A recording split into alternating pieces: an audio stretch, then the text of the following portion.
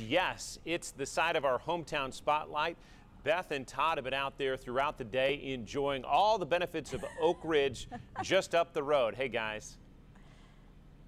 Boy, have we been enjoying all the benefits. We've been eating our way through Jackson Square here, from Big Ed's and Dean's to the Razzleberries. We've also taken in some culture. Yes, we have. We have certainly. Uh, we learned about the Oak Ridge Playhouse, and uh, it opened back in 1943. It's one of the continuously operated community theaters in the Southeast, and it began as the Little Theater of Oak Ridge, Beth. Yeah, and it moved to Jackson Square in 1956, 315 seat auditorium, and currently they're working on the production of its it's a Wonderful Life which I believe uh, takes the stage in November. Oh, that's going to be great. You, you, can't think of Oak Ridge without thinking of science and engineering, and all of that is embodied in the American Museum of Science and Energy, AMSE, from the Manhattan Project to supercomputing. The museum in Oak Ridge covers the past, present, and future of science in our region. The interactive museum is open seven days a week. And none of what we know about Oak Ridge and the Secret City would have been possible had it not been for Ed Westcott. He was the official photographer for the Manhattan Project during the war.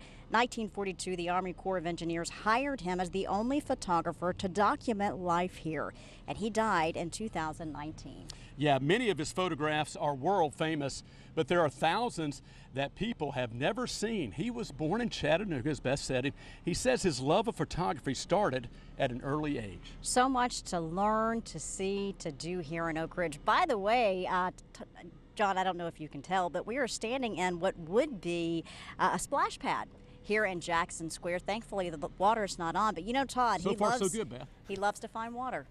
yeah. Hey, our next spot, hometown spotlight is going to be in West Knoxville coming up in October. We're having too much fun here, John. So glad you are, Beth Todd. Thanks so much, live from Oak Ridge in our hometown spotlight.